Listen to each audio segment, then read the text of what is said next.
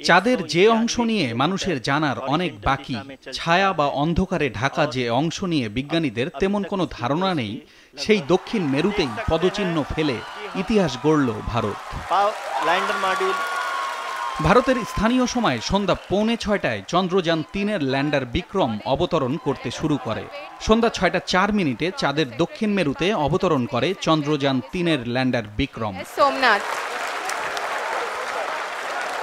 Lander module पूरी तरह से सेफली और सॉफ्टली चंद्रमा के सतह पे लैंड हो चुका है ये हम लोगों के लिए बहुत ही गर्व की बात है চাঁদের মাটিতে নামার গোটা প্রক্রিয়ায় ল্যান্ডারের সময় লাগে তিরিশ মিনিট এরপর বিক্রমের পেট থেকে বেরিয়ে আসে রোভার প্রজ্ঞান চাঁদের বুকে অবতরণের সেই দৃশ্য সরাসরি সম্প্রচার করে ভারতের মহাকাশ গবেষণা সংস্থা ইসরো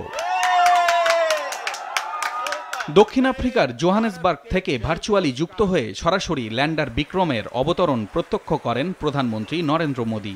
চন্দ্র বিজয়ের সফলতা ভারতকে অন্য এক উচ্চতায় নিয়ে গেল বলে জানান তিনি। Our moon mission is also based on the same human centric approach. Therefore, this success belongs to all of humanity. And it will help moon missions by other countries in the future.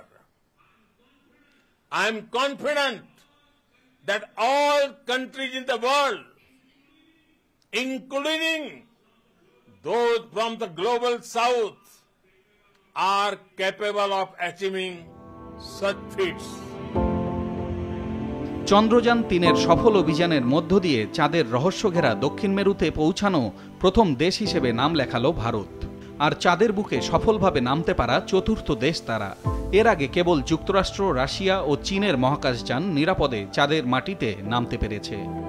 চাঁদের দক্ষিণ মেরু নিয়ে মানুষের গবেষণা খুব বেশি এগোয়নি। ছায়ায় ঢাকা ওই অঞ্চল চাঁদের উত্তর মেরুর চেয়ে অনেকটা বড়। ধারণা করা হয় সবসময় অন্ধকারে থাকা ওই অঞ্চলে বরফ বা পানির অস্তিত্ব থাকলেও থাকতে পারে। এই বরফ বা পানি খোঁজাই ভারতের এবারের চন্দ্রাভিযানের মূল লক্ষ্য।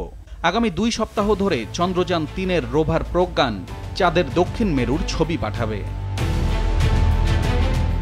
এর আগে দু হাজার উনিশ সালে চন্দ্রযান দুই পাঠিয়েছিল ভারত, কিন্তু সেটি ব্যর্থ হয়। চাঁদের মাটিতে মুখ থুবড়ে পড়েছিল সেই মহাকাশযান। কিছুদিন আগে চাঁদের দক্ষিণ মেরুতে মহাকাশযান নামাতে গিয়ে সফল হয়নি রাশিয়াও। তাদের পাঠানো মহাকাশযান লুনা টোয়েন্টি ফাইভ চাঁদের মাটিতে নামার আগেই বিধ্বস্ত হয়। গত চোদ্দই জুলাই দুপুরে অন্ধ্রপ্রদেশের শ্রী হরিকোটার সতীশ ধাওয়ান মহাকাশ কেন্দ্র থেকে চন্দ্রযান তিনের সফল উৎক্ষেপণ করে ইসরো। চাঁদের দক্ষিণ মেরুতে সফল অবতরণের মধ্য দিয়ে সামনের দিনে পৃথিবীর একমাত্র উপগ্রহটি সম্পর্কে অনেক অজানা তথ্য বেরিয়ে আসবে বলে প্রত্যাশা মহাকাশ বিজ্ঞানীদের।